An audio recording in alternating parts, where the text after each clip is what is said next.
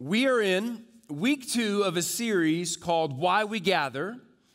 Why is an incredibly important question that people ask all of the time. It has driven scientists and researchers, medical professionals, philosophers to spend an enormous amount of their time chasing the why. And why has driven us to be better in many ways as a society. Why is an important question. And so we're studying hey, why do we gather as a church? And not only why do we gather, why do we pray when we gather? Why do we preach? Why do we sing? Why do we give? Why do we do that as a corporate body? Last week we talked about why do we pray. I encourage you to go listen to that. It was a great time as a church. And today we're talking about hey, why do we preach? And my goal today is to help you understand that from the beginning of the Bible, when Moses first came down with the Ten Commandments all throughout the Old Testament, God's people gathered around God's Word. That was the centerpiece. When you get to the New Testament, Jesus as a boy was found in the temple unpacking the scriptures. He taught his disciples. He returned back to Nazareth, went into the temple, taught them the scriptures on the road to Emmaus after the resurrection. He unfolded all of the scriptures to them. Peter in Acts chapter 2, if you're new, we just studied the book of Acts for six months. And when you get to Acts chapter 2, Peter stands up six weeks after he denied Jesus flat out. He stands up in front of a few thousand people, many of whom were the same people that called for Jesus' death, and boldly proclaimed the Word of God. It was the first Christian sermon in the New Testament. And then from there, you, you have Paul show up on the scene, and then he's preaching in all of his mission journeys and planting churches, and he spends two months on his third missionary journey preaching in the hall of Tyrannus for two years. And it says the whole continent of Asia heard the word of God because of his preaching. And churches were planted, and for the last 2,000 years, Christians have been gathering on Sunday to hear the Word of God proclaimed. And so today we're going to talk about like why that matters. And I want to read to you out of the book of Romans, turn there, one of the verses that Paul wrote back to a church he planted in Rome. And this verse talks about the importance and the supremacy of both God's word and God's messengers. And so let's read Romans chapter 10. I'll read verse 14 and 15. Paul wrote this How then, he says, can they call on him, talking about Jesus, they have not believed in? And how can they believe without hearing about him? And how can they hear without a preacher? And how can they preach unless they are sent? As it is written, How beautiful are the feet of those who bring good news. And the good news that he talks about here is the gospel of Jesus Christ that God left heaven, came to earth, was crucified, buried, and rose again so that we could have life. Jesus is the centerpiece of Scripture. And so today we'll talk about why we preach this word. And so, God, today I pray that I would decrease and you would increase, and that you would help us to understand the importance of your word. Lean into it, God, and be changed by it in Jesus' name. And everybody said? So, Paul is actually quoting a portion of Isaiah 52 7, where Isaiah wrote, How beautiful are the feet. And when Isaiah wrote that, he was talking about exiles, Israel, returning back home. They had been exiled for many, many, many years, and they're finally getting to return home. And Isaiah saying, How beautiful are the feet of those who are coming home. Now, Paul uses that same verse, but he changes it just a little bit because the writer or the readers he's writing to aren't exiles in a foreign land. He's, he's writing to exiles from God people who have been exiled because of sin and the fall. And he's saying, How beautiful are the feet of those who bring new, good news so that the exiles can come home. When we say yes to Jesus and respond and are saved and brought from death to life, we, we get to come home. So Paul is saying, How beautiful are the feet of those who bring good news, because when people hear and believe, they get to come home. They're restored into a relationship with God. It's not just that we get to go to heaven one day, it's that we get to come home.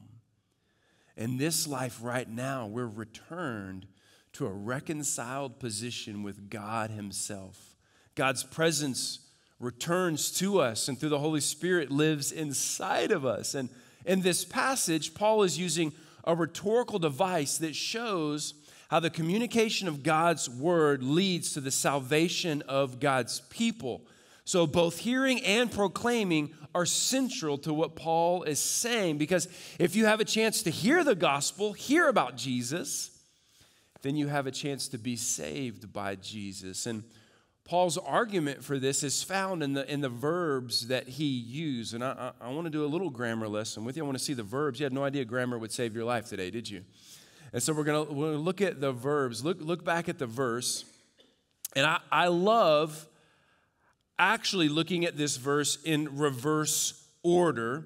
And it finishes with those who bring good news. So that's that's the messenger, that's the herald, those who bring good news.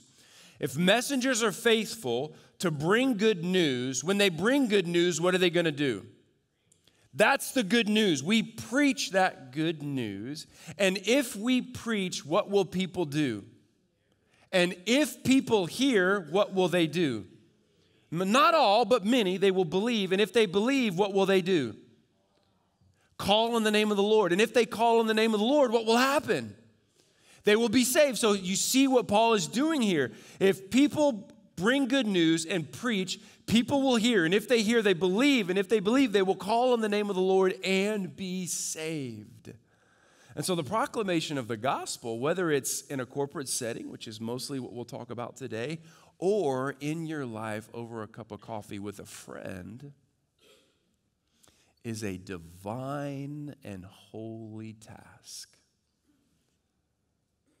It's a moment when heaven literally touches earth, where the very words of God are being communicated through human instruments. So it's a holy moment. So when I stand up here every week, this isn't a TED talk. this isn't an academic lecture. This is not a State of the Union speech. It's not stand up comedy, although we love to laugh. One of our leadership values here is laugh loud and often. But it's not that. This, this is the eternal Word of God. And so the breath of heaven are literally on these pages. So in the church, when she gathers, Preaching is that holy, holy moment every week when the body of Christ comes together. And so we want to open our ears and we want to open our hearts. And we want to listen to the inspired and inerrant Word of God. Inspired meaning it came from God to us, inerrant meaning without error. That's completely true. We want to listen to that through His Word, delivered through a appointed mouthpieces, fallible as they are. And apart from God choosing to speak to us, we are lost and helpless and hopeless. And we don't go out and find God. God finds us and He speaks and He draws us in. And God has equipped some of His servants to communicate His word on His behalf. And so at the church in Nolensville, we take that moment, this moment, very seriously we, we believe what Paul wrote to Timothy when he said this about communication of God's word be diligent to present yourself to God, talking about communicators, preachers, teachers, as one approved, a worker who does not need to be ashamed, correctly teaching the word of truth. So it, it's our job not to give you our opinion, but to tell you what God has already said. And so the messenger, the preacher, I deliver God's word, and God's word does, does the work. That's why on most Sundays, if you come back, when we preach, you're going to find our pattern here. It's kind of verse by verse, line by line. And if you're in a church and you spend the majority of your time just looking at the preacher and not at the word, you might reconsider another church. And so here we're eyes up, eyes in the Word, eyes up, eyes in the Word, eyes up, eyes in the Word, because I can't change your life. But God's Word's been changing lives for thousands of years. And so, so we, we, we preach the Word here. So I want to do today, in this series, we're teaching a little bit, and we're trying to help you understand why, why we do what we do. So here's what I want to do a couple things. Number one, I want to talk about why we actually preach the Bible. Like, why do we preach this Bible? There are a lot of messages, there are a lot of things being communicated, but when you show up here at this church, other churches, why do we preach this Bible? 66 books written by 40 men over 1,500 years, three continents, all tells one story. Why do we preach this? Number one, authority. The Bible and the Bible alone is our sole authority in life. So look at the person next to you and be like, I don't gotta listen to you. Now, husbands, be real careful in this moment. Be real careful. This is our sole authority. No one else tells us what to do. No one else gives us direction. No one else shapes our life. Our sole authority, we submit fully to the Word of God. Paul wrote to Timothy in 2 Timothy 3 16 through 17. He said this quote, All scripture is inspired by God. And, and I actually love the NIV version because it translates this this way it says, All scripture is breathed out by God. And it's profitable for teaching, for reproof, for correction, for training in righteousness, so that the man of God may be equipped for every good work. So I am fallible, but the Word of God is not. And it is our sole authority in this life. Paul said this in First Thessalonians when he was writing to them. He said, I thank God because when you received the Word of God that you heard from us, listen, you welcomed it not as a human message, but as it truly is the Word of God.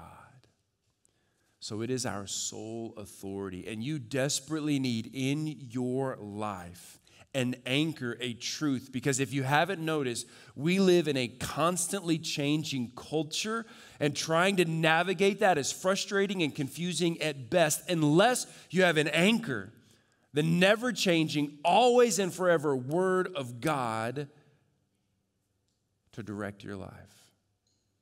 And so it's our sole authority. And you know, people say all the time, well, it's, it's not really relevant. It doesn't really understand 21st century. It doesn't really understand what I'm going through. And it don't understand if it meets this, and you don't know me, and you know, and I always answer with a big Greek word. You know what it is? Baloney. because for thousands of years, culture has been changing and shifting and moving like the wind. And every leader, organization, culture that has ever stood against God's word is gone. But God's word remains and it will never go away. And so it is our sole authority, regardless of what the day brings and regardless of what culture would say is changing. We say, no, this is my authority and my authorities. That's why we preach the Bible. We got nothing else to give you, which leads to my second point. It is sufficiency. This is all we need. The Bible is not just a helpful tool in your life, it is a necessary tool for your life. The Word of God is necessary because it alone is truth. Paul said is the power of God for salvation. Jesus in the wilderness said, Man shall not live by bread alone, but by the very word of God. And so it is, it is our sufficiency. It's our sole authority, but it's also our sufficiency. There are authorities that people may have in their life that they, hey, they'll submit to, but it's really not all they need. They do it just sort of out of obligation, right? Like, hey, I'll do it because I have to, but it doesn't really feed me, but I'll, I'll submit because I have to. No, no, no. The Bible is what we submit to, but it's also everything we need. So it's both authority and sufficiency.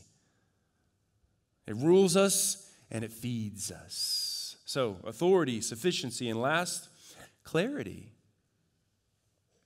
The Bible can be understood and give direction for your life.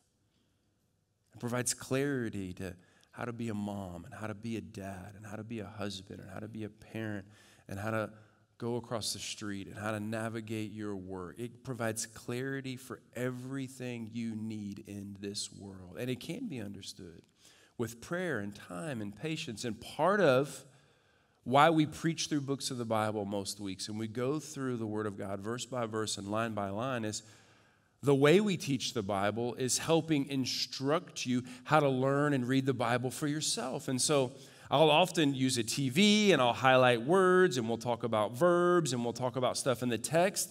That's not just because it's my preferred way of teaching, although it is. It's also a way to help you learn and hear, ah, okay, now I see how I can go back and read and understand that. So we are trying to build a church here that is hungry for building their lives on the Word of God. Did you know that if you simply take notes during a sermon, you're more than 100% more likely this week to digest it, apply it, and live it out? Did you know that? If you take notes, you are more than 100% more likely to digest it, embrace it, and live it out this week. Guys, we are not wasting our time. We're trying to build a church here that is hungry for God's word, that says, I want to be changed by God's word. I want to take God's word into my marriage, into my home, into my life, into my school. I want to live this. I want to own this. So when I say hey, write this down, I mean it. And matter of fact, I, we're probably going to start handing out journals every Sunday morning and inspecting them on the way out. I'm not wasting your time. Don't waste your own. God's word will never return void, but there are a few things that you can do that will be transformative for your life. And we're building a church here that takes seriously the word of God because of the way it shapes our soul. So bring a Bible. You're going to read it, you're going to learn how to read it. Bring something to write on, bring something to write with. It's going to change you. You're going to learn. So it provides clarity. And you can develop a pattern of understanding and dig into it more this week. So that's why we, that's why we preach the Bible. And so when we preach the Bible, we talked about why, we talk about when, we have several aims in this gathering. Number one, we, we want to give instruction. We preach so that you'll grow, that you'll learn truth, that you'll become disciples that multiply disciples, that you'll walk in the joy of the Lord, that you'll learn to reject truth. And as I said earlier, you will learn to be a group of people that can navigate a constantly changing culture with the never changing Word of God, whether you realize it or not. Our world is desperate for a group of people with conviction, with sincerity, with authenticity, and lives that look different. Mike Glenn says all the time the world's not mad because we're different, they're mad because we're not different enough. Living out the instruction that you see is the hope of the world. We're never going to elect or vote in the change this country needs. Do you know that? The answer is the local church. And so we're trying to instruct you in life. The Bible says, Your word, God, I've hidden in my heart so that I might not sin against you. Your word, O oh God, David said, is a lamp unto my feet so we want you to know this word, be changed by this word, be able to multiply the teaching of this word. And so we preach, I preach for your instruction. And I'm not just a preacher. The Bible would call pastors a shepherd, someone who has been placed responsible for your growth. And so we're here for you to help you grow. I don't share my opinions. I don't share my suggestions. Occasionally, if you've been here long enough, you know, go, hey, let, let me, let me step away from the Bible for a minute and I'll, I'll give you my thoughts on something. But that's occasional and rare because we, we preach the word here, which means whoever is standing in this pulpit is going to have the same view of Scripture that I do. And so when other people preach here, don't be like, oh man, yeah, Wade's not here. No, stay home, watch online. Like, that makes me feel good a little bit, you know, appreciate that. But you're not here for me. And whoever stands in this pulpit's going to have something to say because they've got the Word of God, and they wouldn't be here if they didn't feel that way. So come ready, come hungry, come ready to be changed. You're not showing up to a life coach, you're showing up to the Word of God. And whoever stands up here, like it or not, they're going to have the boldness to say, hey, thus says the Lord. Because honestly, whoever stands in this pulpit is far more scared of God than they are of you. And so, with grace and truth, kindness and conviction, we will unapologetically say, This is what God has said, and the Creator knows what leads to human flourishing. We're going to follow Him. And so, there's, there's instruction that happens. And I, I love what Paul wrote in, in 2 Timothy. He said this. This is, this is what he wrote to his leaders. I solemnly charge you, like, feel that before God and Christ Jesus, who is going to judge the living and the dead, and because of his appearing and his kingdom, preach what? Preach what? The word. That's what he said. Preach the word. Be ready in season and out of season, correct, rebuke, and encourage with great patience and teaching. And listen, here's why. For the time will come Kind of feels like today. When people will not tolerate sound doctrine, but according to their own desires will multiply teachers for themselves because they have an itch to hear what they want to hear. And they'll turn away from hearing the truth and will turn aside to myths. So Paul said 2,000 years ago to Timothy, there's one thing you need to do, and that's preach this word in season, out of season, no matter what. That's your job. And as your pastors here, like that's our job. One of the best ways we can shepherd you is with the Word of God. In Ephesians, Paul wrote this. He said, He, that's Jesus, gave some, he's talking about to the church, the establishment of the church, some to be apostles, some prophets, some evangelists, and some pastors and teachers. And this group was given to the church for this reason to equip the saints, that's you, for the work of the ministry to build up the body of Christ. So, part of this moment is to help you grow into the fullness of the Lord. And when you are checking out a church, which I know many of you, this is your first Sunday here, welcome home. We're so glad you're here. One of the things we want you to know about us is what we believe about the Bible, our theology. We can help you with that. And if you're checking out any church, we're not a high pressure sales place, if not here somewhere. But you need to know what they believe and why they believe it because it's going to inform their preaching. And their preaching informs the church and will help impact your growth for better or for worse. So you want, you want to know. So we preach for instruction. We also preach for uh, inspiration. Inspiration. Martin Luther said, to preach the gospel is nothing else than Christ coming to us or bringing us to him. John Piper said, Preaching awakens new affections for God. We believe this is the greatest story ever told. And so you're invited to come and die to self, find Jesus, and live. We do want to inspire you into that life.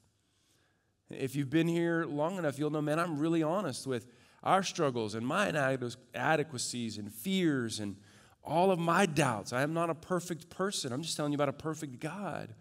And we're inviting you to come walk with us as we stumble forward with Jesus. We want to inspire you to believe that, man, no story is too far gone. No person is too helpless or hopeless. There is no situation too big or too small for our God. We want to inspire you with the stories that we share, with the baptisms, with the testimonies, with God's word, to invite you into a better story. The reason why you're t- more tired than you should be, more anxious than is necessary, is because you're living a story that's not God's story for you. And we all feel that and we all know that. So we want to inspire you to, hey, come, come and see and live. And we believe God's word helps do this. Hebrews 4:12 says this: For the word of God is living and effective and sharper than any double edged sword, penetrating as far as the separation of soul and spirit, joints and marrow. It is able to judge the thoughts and intentions of the heart.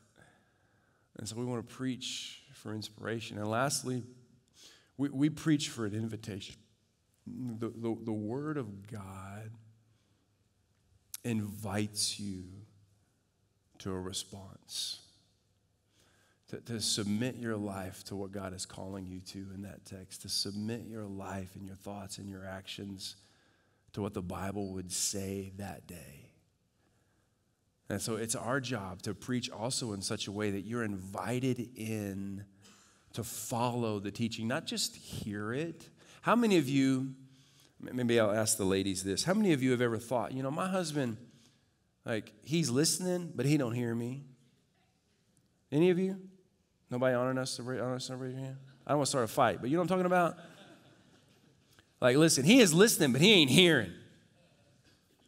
You can listen, but not hear. So there's an invitation that says, hear this and respond every time the Word of God is preached. And ultimately, we want you to hear that the essence of what we preach here is the good news of Jesus Christ throughout the Scriptures. To respond to the gospel message of Jesus Christ, repent, believe, and be saved. And then to follow God's teaching, whatever it is. And as a preacher, I'm a witness here to God's goodness and the message of Jesus here and to the ends of the earth as far as my voice is carried through this message. And my confidence isn't in my ability or my rhetorical persuasion, even though I work hard on delivery and timing and structure. My confidence isn't in that. My confidence is in God's word because Isaiah tells us, My words that come from my mouth, oh, my God's word, will not what? So God's word says when it's preached, it's not coming back empty. It's going to make change. And that's, that's my hope. Eh, whether it's my best sermon or my worst, Paul said in 1 Corinthians, God saves people through the foolishness of preaching. When Jesus preached sermon, the disciples preached sermons. Timothy and Titus were told how to preach sermons and Paul said in 1 Corinthians, We preach Christ crucified, which is a stumbling block to the Jews and foolishness to the Gentiles. Yet to those who are called, both Jews and Greek, it is the power of God for salvation. And so we, we preach the gospel. And my goal is to preach the gospel and then die forgotten. Because God's message will always continue, but his messengers come and go. So I love this place and I love you, but it ain't me. It ain't built around me. It's built around God's word. And your life desperately needs this. You cannot find joy or hope or satisfaction or peace without it. And some of you, like, came in on empty today, and I'm praying that God will give you some fuel today. Enough fuel to bring you back enough fuel to keep you coming, and enough fuel for you to, to begin implementing into your life some of the rhythms that we're inviting you to. Well, yeah, I've always been this way, I've always done that. You know, every behavior that you have in your life is a learned behavior. Did you know that? So don't tell me I'm just that way. No, at one point in your life, you learned to be that way, which means you can unlearn and learn some new patterns. I'm inviting you to learn the patterns that God has said is best for your soul. And so here's, here's what I'm, I want for you I want you to grow, and, and I want you to go. Be an active listener. Show up here. Take notes. Devour God's word. Come ready. God's going to speak And then go home and sit in it, steep in it a little bit, grow in it. And then, and then go into your relationships and go into your places of work and go into your neighborhoods. Go and be the difference our world desperately needs. Go and be the difference maker. Go and be an agent of reconciliation. Go and, as Paul said, plead with others, be reconciled to God. He said, We go and plead as though we're pleading on Christ's behalf. Go. Go and be changed and be different. And so I want you to stand. I want to pray for you. I want to pray over you.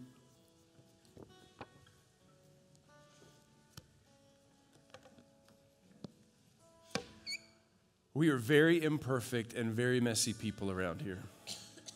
We have scars and bruises and we stumble and we fall, but our anchor and our foundation is the Word of God. And so we're just asking you to follow Jesus as we follow him. Prioritize God's word. Come and be changed by it. And so, Lord, I pray, pray for this church, your church, my brothers, my sisters, your bride, the church at Nolensville, that, that the preaching of God's word would be so transformative, so life giving, that we can't help but be changed. And I pray you would rise up in this place people hungry for God's word, ready to hear God's word, eager to divest, digest God's word. I pray that you would create a space here full of open Bibles, full of notepads, full of pens, full of journals, full of truth, so that we can grow and be changed and go as disciple makers. Lord, we plead for this, we pray for this, and we will work towards this here. In Jesus' name, amen.